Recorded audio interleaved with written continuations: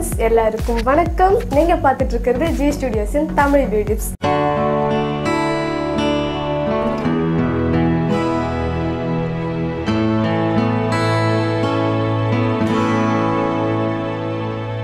இன்னைக்கு நாம பார்க்க போற டிப் என்ன அப்படின்னா இந்த ஃபாஸ்டான பிஸியான காலத்துல நம்ம எல்லாமே ஃபாஸ்ட் ஃபாஸ்ட் ஃபாஸ்டா பண்ணி நமக்கு கிடைச்ச பெரிய கிஃப்ட் என்ன அப்படின்னா பெல்லி ஃபேட் இந்த பெல்லி ஃபேட்டை கம்மி பண்ணுறதுக்காக நிறைய பேர் நிறைய ட்ரை பண்ணியிருப்பீங்க இன்னும் சிலர் வந்துட்டு மெடிசன்ஸ் கூட நிறைய ட்ரை பண்ணியிருப்பாங்க அதாவது ஏதாவது மெடிசன் ட்ரிங்க்ஸோ இல்லை ஏதாவது கேப்சூல்ஸ் இந்த மாதிரி ட்ரை பண்ணி அது எதுவுமே ரிசல்ட் கொடுக்காம at the same time side எஃபெக்டையும் நிறைய கொடுத்துரும். ஆனால் என்னோட வியூவர்ஸ் உங்களுக்கு இந்த மாதிரி எந்த பிரச்சனையும் இருக்கக்கூடாது அப்படின்றதுக்காகவே நேச்சுரலான சிம்பிளான டிப் எடுத்துகிட்டு வந்திருக்கேன். அதுவும் ஒன்று இல்லைங்க. ரெண்டு டிப்ஸ் பார்க்க போகிறோம் இன்னைக்கு. அது என்னென்ன டிப்ஸ் அதில் என்னெல்லாம் இன்க்ரீடியன்ட் ஆட் பண்ண போகிறோம் இதோட பெனிஃபிட்ஸ் எல்லாம் என்ன அப்படின்னு தெரிஞ்சுக்கணுன்னா ஃபுல் வீடியோவை மிஸ் பண்ணாமல் பாருங்கள் வாங்க ஷோக்கு போகலாம் டிப் நம்பர் ஒன் இதுக்கு தேவையான இன்க்ரீடியண்ட்லாம் என்னென்ன அப்படின்னு பார்க்கலாம். ஃபர்ஸ்ட் எடுத்துருக்கிறது முருங்கைக்கீரை. முருங்கைக்கீரை நம்மளோட ஹெல்த்துக்கு எவ்வளோ நல்லது அப்படின்னு நம்ம எல்லாருக்குமே தெரியும். அதனால தான் வந்து டெய்லி ஃபுட்டில் முருங்கைக்கீரை சேர்த்துக்கோங்க அப்படின்னு சொல்கிறாங்க அண்ட் அதனால தான் முருங்கைக்கீரையை வந்துட்டு கீரைங்களோட ராஜா அப்படின்னு கூட சொல்கிறாங்க அண்ட் முருங்கைக்கீரையை பற்றி தெரியாத விஷயம் அப்படின்னு பார்த்தீங்கன்னா முருங்கைக்கீரை ரொம்ப ரொம்ப ரொம்ப நல்ல ஒரு ஃபேட் பர்னர் இது நீங்கள் எடுத்துக்கும் போது என்ன ஆகும் அப்படின்னா நம்ம உடம்புல இருக்க தேவையில்லாத ஃபேட் எல்லாம் வெளியேற்றிடும் அந்த அளவுக்கு ரொம்ப நல்ல ஃபேட் பர்னர் அண்ட் அடுத்ததாக பார்த்தீங்கன்னா லெமன் லெமன் வந்துட்டு நமக்கு வெயிட் லாஸ்க்கு இல்லை பெல்லி ஃபேட் ரெடியூஸ்க்கு எப்படி யூஸ் ஆகுது அப்படின்னு பார்த்தீங்கன்னா லெமன் வந்துட்டு நம்ம உடம்புல இருக்கிற தேவையில்லாத டாக்ஸின்ஸ் எல்லாம் வெளியேற்றுறதுக்கு ரொம்ப ரொம்ப ஹெல்ப் பண்ணும். இந்த ரெண்டு இன்க்ரீடியண்ட்டையும் வச்சு பெல்லி ஃபேட் ரெடியூஸ் பண்ணுறதுக்கான ஜூஸ் எப்படி ரெடி பண்ணுறது அப்படின்றத பார்க்கலாம். முதல்ல கேஸ் ஆன் பண்ணிக்கோங்க. அது மேலே இந்த மாதிரி ஒரு பாத்திரம் வச்சுருங்க.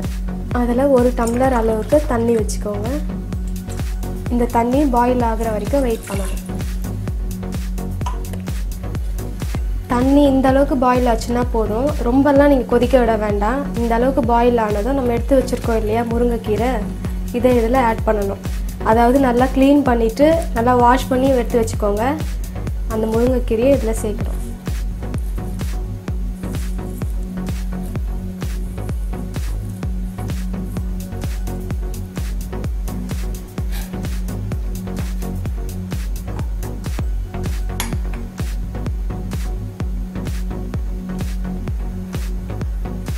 இது ஒரு ரெண்டு மூணு நிமிஷத்துக்கு இப்படியே கொதிக்க விட்டுருங்க.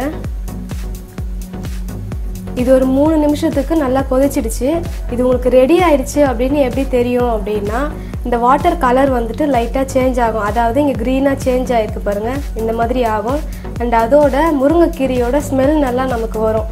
அது பாயில் ஆகிடுச்சு அப்படின்ற ஸ்மெல் நல்லா வரும். அந்த மாதிரி டைமில் கேஸ் ஆஃப் பண்ணிவிட்டு மூடிடுங்க. இதை ஒரு தட்டு போட்டு மூடிட்டு இதை அப்படியே விட்டுடுங்க. ஒரு பத்து நிமிஷத்துக்கு அப்படியே இருக்கட்டும். ஃப்ரெண்ட்ஸ் பத்து நிமிஷம் ஆயிடுச்சு. இப்போ இதை ஓப்பன் பண்ணிடலாம். எதுக்காக இந்த பத்து நிமிஷம் வைக்க சொல்கிறேன் அப்படின்னா இந்த முருங்கைக்கீரையோட ஜூஸ் எல்லாம் நல்லா இந்த தண்ணிக்குள்ளே வரும். இந்த முருங்கைக்கீரை நல்லா பாயில் ஆகிருக்கும் அதுக்காக தான் ஒரு டென் மினிட்ஸ் வந்து அப்படியே விட்டுடுங்க அப்படின்னு சொன்னேன். டென் மினிட்ஸ்க்கு அப்புறமா உங்களுக்கு இந்த மாதிரி தான் இருக்கும். பாருங்கள் கீரையெல்லாம் நல்லா பாயில் ஆகிடுச்சு பாருங்கள் இப்போ இதை எடுத்து ஃபில்டர் பண்ணிக்கலாம். இப்போ இதை வடிகட்டிக்கலாம்.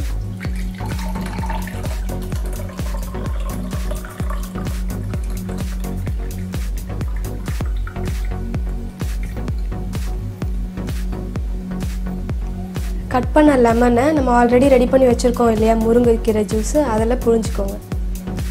இந்த ஹாஃப் லெமன் வந்துட்டு நீங்கள் ஃபுல்லாக புழியணும் அப்படின்லாம் வேண்டாம். கொஞ்சமாக புழிஞ்சிங்கன்னா போதும். இதை நல்லா மிக்ஸ் பண்ணிக்கோங்க. நமக்கு தேவையான ட்ரிங்க் ரெடி ஆயிடுச்சு. இது வந்துட்டு டேஸ்ட் எப்படி இருக்குமோ அப்படின்லாம் நீங்கள் பயப்பட வேண்டாம். ரொம்ப நல்லா தான் இருக்கும் டேஸ்ட்டு கீரை போட்டு செஞ்சதுனால கசப்பாக இருக்கிற மாதிரி அந்த மாதிரிலாம் எதுவுமே ஆகாது. ஸோ இதில் லெமன் ஆட் பண்ணியிருக்கிறதுனால டேஸ்ட் வந்து ரொம்ப நல்லா தான் இருக்கும். அண்ட் உங்களுக்கு இன்னும் வந்து இது குடிக்க கஷ்டமாக இருந்துச்சு அப்படின்னா இதில் நீங்கள் ஹனி கூட ஆட் பண்ணிக்கலாம். நீங்கள் டேஸ்ட்டுக்காக ஹனி ஆட் பண்ணுற மாதிரி இருந்தீங்கன்னா ஒரிஜினல் ஹனியாக யூஸ் பண்ணுங்கள் ஏன்னா ஹனி வந்துட்டு எந்த அளவுக்கு ஒரிஜினலாக இருக்கோ அந்த அளவுக்கு தான் நமக்கு வந்து ரிசல்ட் தெரியும். ஏன்னா உங்களுக்கு ஹனி வந்துட்டு ஒரிஜினலாக இல்லாமல் இருந்துச்சுன்னா அதில் சுகர் சிரப் சேர்த்துருப்பாங்க. சுகர் சிரப் சேர்க்கறதுனால என்ன ஆகும் அப்படின்னா உங்கள் வந்து பெல்லி வந்து ரெடியூஸ் ஆகாது. அதுக்கு பதிலாக வெயிட் அதிகமாகிட்டு தான் போகும். இதை யாரெல்லாம் குடிக்கலாம் அப்படின்னு பார்த்தீங்கன்னா எல்லாருமே குடிக்கலாங்க. சின்னவங்கலேருந்து பெரியவங்க வரைக்கும் எல்லாருமே குடிக்கலாம். அண்ட் யார் குடிக்கக்கூடாது அப்படின்னு பார்த்தீங்கன்னா கன்சீவாக இருக்கிறவங்களும் அண்ட் குழந்தைக்கு வந்து ஃபீட் பண்ணுற மதர்ஸும் எந்த ஒரு வெயிட் லாஸ் ட்ரிங்க்கோ இல்லை பெல்லி ஃபேட் ட்ரிங்க்கோ இதில் குடிக்கக்கூடாது. ஸோ அதனால் அவங்கள தவிர மற்ற எல்லாருமே இந்த ட்ரிங்க் குடிக்கலாம். இதை எப்போல்லாம் குடிக்கணும்? ஒரு நாளைக்கு எத்தனை தடவை குடிக்கணும் அப்படின்னு பார்த்தீங்கன்னா இதை வந்துட்டு காலையில் காஃபி டீ குடிக்கிறீங்க இல்லையா? அதுக்கு பதிலாக இந்த ட்ரிங்க்கு குடிங்க. நீங்கள் காலையில் ஒரு தடவை குடிச்சிங்கன்னா போதும் உங்கள் பெல்லி வந்து சீக்கிரமாகவே ரெடியூஸ் ஆகிடும் இது வந்துட்டு பெல்லி ரெடியூஸ்க்கான ட்ரிங்க் மட்டும் இல்லைங்க. உண்மையிலே சொல்ல போனால் ரொம்பவே ஹெல்த்தியான ஒரு ட்ரிங்க்கும் கூட. ஏன்னா இதில் வந்துட்டு நம்ம முருங்கைக்கீரை சேர்த்துருக்கோம். முருங்கைக்கீரையில் அயன் கண்டென்ட் அதிகம் அப்படின்றதுனால ரத்த சோகை வராமல் ரொம்ப ஹெல்த்தியாக வச்சுக்கோ நம்மளை. நமக்கு பெல்லி ஃபேட் இருக்கக்கூடாது பெல்லி ஃபேட் வரக்கூடாது அப்படின்னு நினச்சிங்கன்னா நீங்கள் அடிஷ்னலாக இன்னும் ஒரு சில வேலைங்க செஞ்சு தான் ஆகணும். அதெல்லாம் என்னென்ன அப்படின்னா ஜங்க் ஃபுட் அவாய்ட் பண்ணுங்கள் ஏன்னா ஜங்க் ஃபுட்டில் வந்துட்டு ஆயில் கண்டென்ட் நிறைய ஃபேட் அதிகமாகும். இதனால வந்து பெல்லி ஃபேட் அதிகமாகிறதுக்கு ரொம்பவே சான்சஸ் இருக்குது அண்ட் அதுக்கு அடுத்ததாக பார்த்தீங்கன்னா ஃபாஸ்ட் ஃபுட் ஐட்டம்ஸ் அண்ட் ஹோட்டலில் சாப்பிட்றது. இதனாலேயும் வந்துட்டு பெல்லி ஃபேட் அதிகமாகிறதுக்கு ரொம்பவே சான்சஸ் இருக்குது நீங்கள் வீட்லேயே சமைச்சு சாப்பிடும்போது நமக்கு ரொம்பவே ஹெல்த்தியாக இருக்கும். அதே நீங்கள் ஹோட்டல்ல இருந்தோ இல்லை ஃபாஸ்ட் ஃபுட்ல இருந்தோ வாங்கிட்டு வந்து சாப்பிட்டீங்கன்னா அது அன்ஹெல்த்தியாகவும் இருக்கும். At the same time belly ஃபேட்டும் அதிகமாகிறதுக்கு ரொம்பவே காரணமாயிடும்.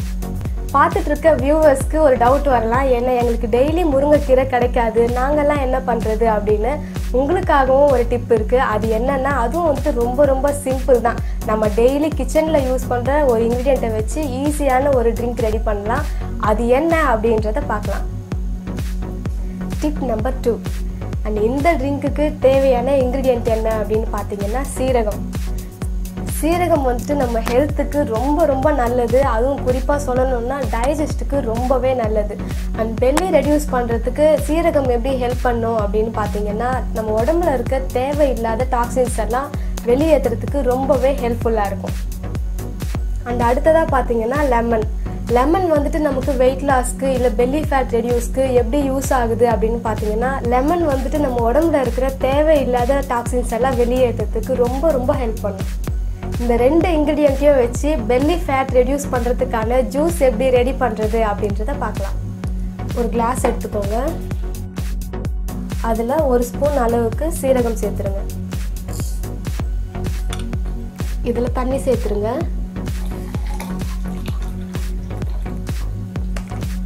இது அப்படியே இந்த தண்ணியில் சீரகம் நல்லா ஊறணும். அதனால் அப்படியே வச்சுட்டு ஒரு தட்டு போட்டு மூடி வச்சுருங்க. இது நைட் ஃபுல்லாக நல்லா ஊறணும். நான் உங்களுக்கு சொன்ன மாதிரி நைட்டே ஊற வச்சு வச்சுருக்கேன். உங்களுக்கு பார்த்தீங்கன்னா நல்லா தெரியும். வாட்டர் கலர் வந்து கொஞ்சம் சேஞ்ச் ஆகிருக்கும் அண்ட் அதோட நம்ம போட்ட சீரகமும் நல்லா இதில் ஊறியிருக்கும் முதல்ல கேஸ் ஆன் பண்ணிக்கோங்க. அது மேலே அந்த மாதிரி ஒரு பாத்திரம் வச்சுருங்க. அடுத்ததாக நம்ம ஊற வச்சு வச்சுருக்கோம் இல்லையா இந்த சீரக தண்ணி இதை சேர்த்துருங்க.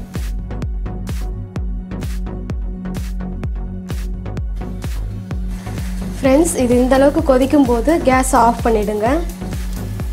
இது குடிக்கிற அளவுக்கு ஆறணும் ஸோ கொஞ்ச நேரம் அப்படியே விட்டுடுங்க. நான் சொன்ன மாதிரி இது நல்லா வெது வெதுப்பாக ஆயிடுச்சு இப்போ இதை வடிகட்டிக்கலாம்.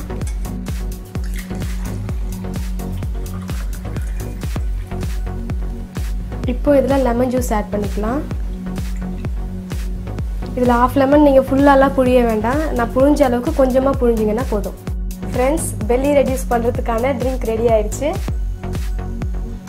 இந்த ட்ரிங்க்கில் இருக்க இன்னொரு ஒரு ஹெல்த் பெனிஃபிட் என்ன அப்படின்னு சொல்கிறேன் இது வந்துட்டு லெமன் ஆட் பண்ணுறதுக்கு முன்னாடி வெறும் சீரகம் தண்ணியாக இருக்கும் இல்லையா அந்த ட்ரிங்க் வந்துட்டு கேஸ்ட்ரிக் ப்ராப்ளம்னால செஸ்ட் பெயின் வரும் பாருங்க. அவங்களுக்கு கூட ரொம்ப ரொம்ப ரொம்ப நல்லது. அந்த மாதிரி பெயின் வரும்போது இந்த சீரக தண்ணியை குடிச்சிட்டு ஒரு பத்து நிமிஷம் வாக் பண்ணீங்க அப்படின்னாலே அந்த வலியை கூட எடுக்கிற அளவுக்கு ரொம்ப ரொம்ப ஹெல்த் பெனிஃபிட் இருக்குது இந்த சீரகம் வாட்டரில் இந்த ட்ரிங்க் வந்துட்டு நம்ம பெல்லி ஃபேட் ரெடியூஸ் பண்ணுறதுக்கு எப்படியெல்லாம் ஹெல்ப் பண்ணும் அப்படின்னு பார்த்தீங்கன்னா இதில் நம்ம லெமனும் சீரகமும் சேர்த்துருக்கிறதுனால நம்ம உடம்புல இருக்க தேவையில்லாத டாக்ஸின்ஸ் எல்லாம் வெளியேற்றுறதுனால ரொம்ப சீக்கிரமாகவே நம்மளோட பெல்லி ஃபேட்டை வந்து ரெடியூஸ் பண்ணிடும். ஃபஸ்ட்டெல்லாம் நம்ம வீட்டில் சாப்பிடும்போது பார்த்தீங்கன்னா எப்போவுமே டெய்லி ஒரு குழம்பு இருக்கும். அது கூடவே ரசம் இருக்கும். அது எதனால் அப்படின்னா நம்ம சாப்பிட்ற சாப்பாடோட ஃபேட்டோ இல்லை டாக்ஸின்ஸோ நம்ம உடம்புல அப்படியே இருக்கக்கூடாது அப்படின்றதுக்காக தான் சாப்பிட்டதுக்கு அப்புறமா கொஞ்சம் ரசம் போட்டு சாப்பிடு அப்படின்னு சொல்லுவாங்க.